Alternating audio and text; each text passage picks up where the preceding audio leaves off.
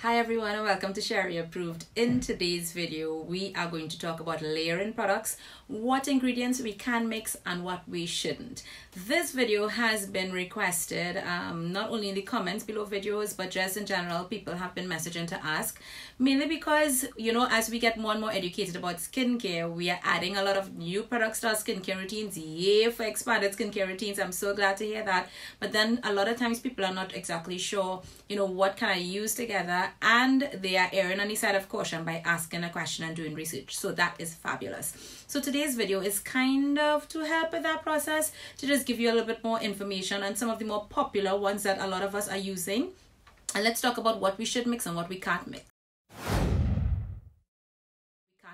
The first thing we're going to talk about today is layering products. And um, in general, you know, a lot of people say there are no rules in skincare, but then when we look at the science of products, we realize that there are a couple of things that we do need to keep into um, keep in mind or take into consideration. So the first thing is, in general, you will hear when you have a lot of products, look at applying from thinnest to thickest in terms of consistency. So that's one of the general guidelines that can kind of help you when you have, you know, all your skincare laid out and you're trying to figure out what should I apply first. So that's why you will hear, for example, after toner, you will apply essence. That's if you're following more of the K-beauty type of skincare routine and why an essence? Because essences are usually more runny, they're more watery than serums. So they go before serums. And they, um, in, in fact, when you go with thinnest to thickest, you basically help the absorption of your product. So that's just a general rule to keep in mind.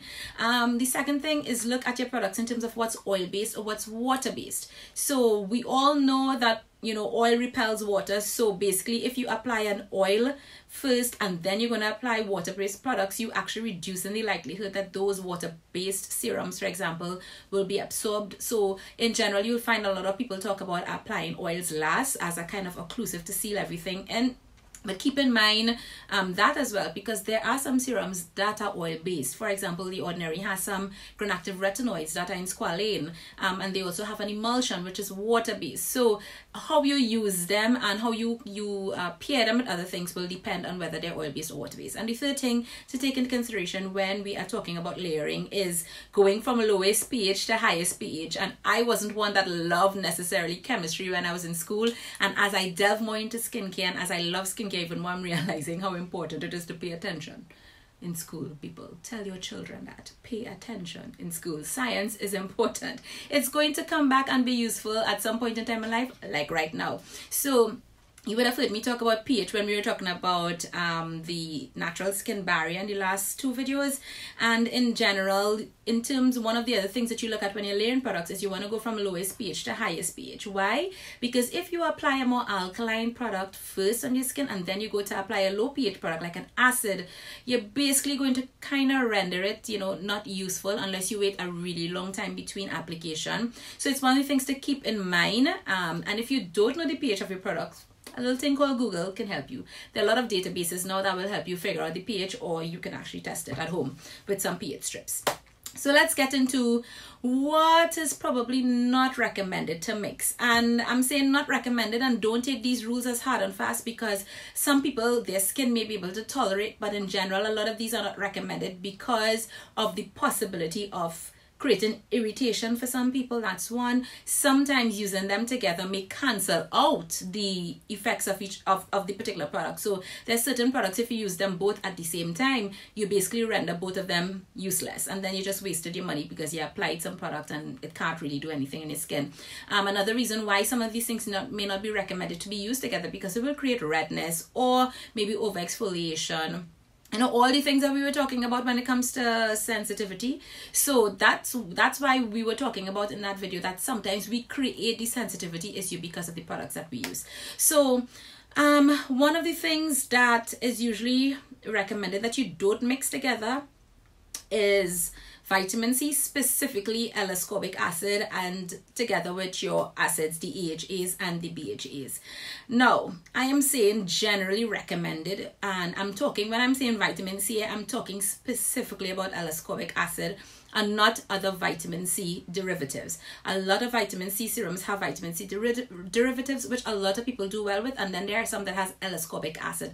L-ascorbic acid is the one that generally tends to create possibly a little bit of irritation. And why? It's because sometimes that vitamin C or L-ascorbic acid could sometimes destabilize when combined with AHAs or BHAs and by now you all know when I say AHAs I'm talking about glycolic acid, lactic acid and BHAs salicylic acid. No, that doesn't necessarily have to be the case all the time. And that's why I want you to you know listen to what i'm saying but also pay attention to formulation of products. Because there are some products that may combine all these ingredients in one um, one serum or one product. And the reason they're able to do that is because they've done a lot of lab testing and you know all kinds of um, checks with regards to formulations to make sure that the particular ingredients that they put in terms of the percentages how they mix them together that they actually work well together so that's why I'm saying it's not necessarily a hard and fast rule. But however, if you have a separate like L-ascorbic acid and then separate glycolic and separate salicylic, that's when you want to be a little bit more careful with how you mix them because the potential for not only irritation but destabilizing the vitamin C or the effect of the vitamin C is something that you want to be concerned about. The second thing, and this again has to do with L-ascorbic acid or vitamin C, is that there has been a huge controversy over niacinamide and vitamin C. And in fact, um, you all know that I, for my skin type, especially because I'm oily, acne prone, I've spoken a lot about the EVA, um, the EVA Naturals Skin Clearing Vitamin C Serum, which helps my skin um, a lot. I have been using that for probably more than four years now. It made a huge difference. And that actually is a vitamin C serum that has niacinamide. So a lot of people were like, how come? You know, because you're not supposed to be using vitamin C and niacinamide. But that vitamin C serum actually does not use L-ascorbic acid. It uses a vitamin C derivative. So it works well together. But does that mean that you cannot use L-ascorbic acid and niacinamide together? Again, a huge question that has been floating around in the beauty community for a long time. And this is why it's so important to do research. Now, there are studies that were done like 40 years ago, literally, where they put uh, L-ascorbic acid and niacinamide together under extreme temperatures and over a long period of time, and saw that that combination created something called niacin or niacin. They, they call it a flushing of the skin, or basically the combination or what it broke it down to, or what it turned into, created irritation on the skin or redness and tingling. They put those two ingredients together under very high temperatures, which will not be the conditions that number one, your serum is made, your serum is stored. And number three, the conditions under which you apply it to your skin. So you find like a lot of people realize, but wait a minute, I'm using L-ascorbic acid and niacinamide together and this is not happening to me. Yeah, that's why. Because the conditions under which the study was done and then the results or the conclusion that they came to, in most cases, really doesn't apply to the serums and stuff that we are using today and the conditions in which we use it. Now, it is possible for a very, very sensitive person that it may create flushing. And again, flushing just means redness of, redness of the skin or tingling. And that may be why. But in general, and I raise the point here because it's one of the questions that I get a lot with regards to mixing vitamin C and niacinamide. So there you go me personally nothing happens. You could read a lot of research online. For many people nothing happens and I again it's because the conditions under which i was tested and the conclusion that they came to. The next thing that is recommended that you don't mix together and this is the one that i really really want to drive home and it's the one that you would find um, i talk a lot about and that's retinol and acids I use retinol and acids in my skincare routine, but I do not use them together. In other words, I do not use them on the same night. And you would find that if I put photos of my skincare routine, especially my nighttime skincare routine, I will usually say, so tonight is my retinol night. And you would notice that I use particular products when I'm using retinol. And if I say tonight is my acid night, like when I did my nighttime skincare routine and I was using glycolic acid and so on, I would not have retinol there. Um, the acids, the glycolic acid and so on, those exfoliate the skin. And retinol doesn't exfoliate the skin the way acids do, but it does encourage cell turnover and cell regeneration. So it's pushing the newer skin cells from below to the top. Together, those have the potential to be very irritating to the skin when used together. Now there are products, again, like I said, they have formulated that the products and they've put all those ingredients in one. It's usually because they are very low percentages. And again, it's how they have formulated that they've put them together. But in general, if you have a retinol and you have an acid, my recommendation, the recommendation of derms, the recommendations of science, the recommendation of research will tell you, please don't use them together. And that's why we talk about rotation.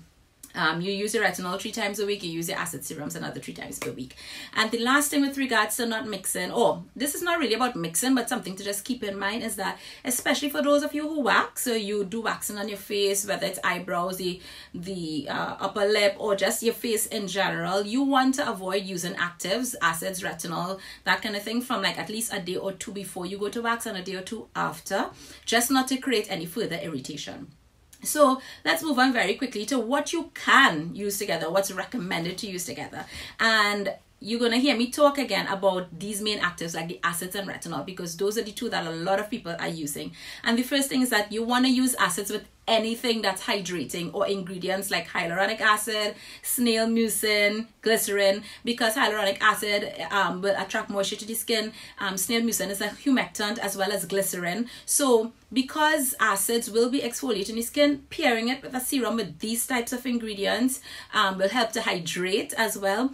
And the thing about it is when you use an acid and you are exfoliating the skin, putting a hydrating serum on top is the is so fantastic because now you allow the skin the full potential or the to be able to maximize absorbing that moisture.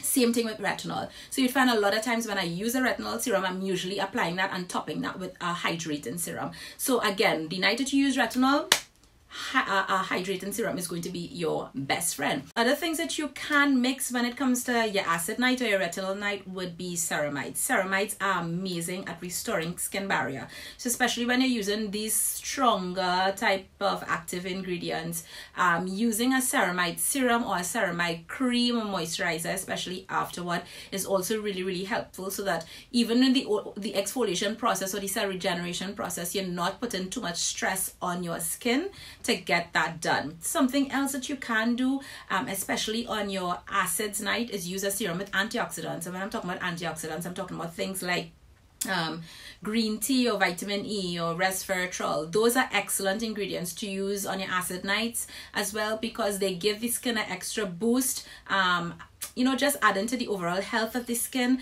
and again especially when you use acids that uh, that's a great time for these more soothing ingredients or these ingredients that are adding something to your skin without being harsh it's a great time to use it because you know you're basically getting rid of the dead cells and allowing those free access to go in Another combination that you can use is peptides with vitamin C. And this one I discovered by trial and error because um, how many of you know about the, uh, the L-ascorbic acid powders? Because you can now, you know, be your own skincare genius and mix your serums. So I started to use a peptide serum and mix in my ascorbic acid powder. And I realized after a couple days that I love the effect that that combination was having on my skin. And then of course a girl goes and, you know, does the research and realize that's actually a combination that's recommended. Together they create a great defense barrier for your skin.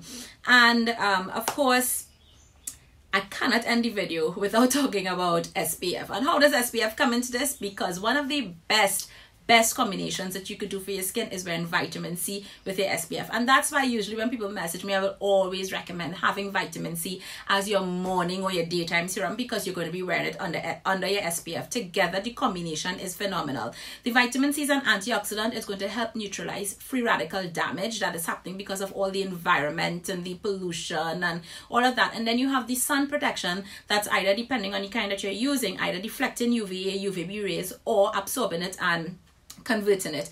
Together that's the best defense system for your skin during the day and it's going to help. So the fact that you are using your vitamin c actually boosts the functionality and makes your spf work better.